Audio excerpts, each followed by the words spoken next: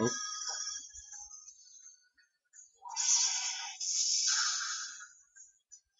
Look at that.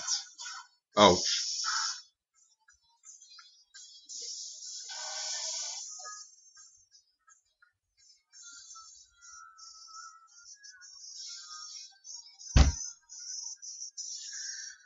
Ah, Big Mama, no!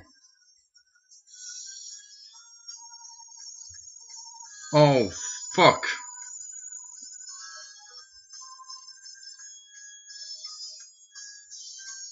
It's just obliterated her. Damn it.